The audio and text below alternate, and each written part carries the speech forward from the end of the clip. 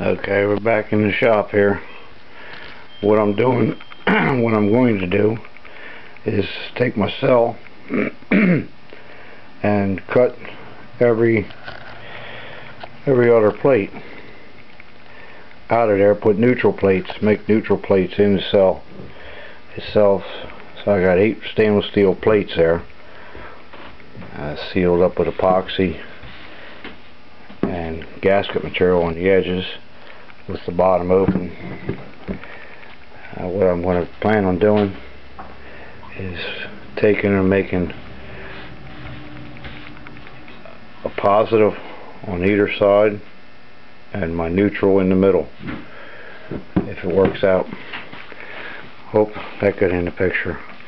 I tried this miracle stuff in my car and my gas mileage went down from 36 to 30.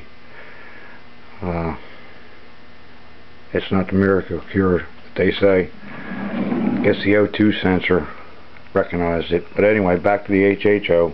That's the main concern here. Not the fact that we wasted money on something that really isn't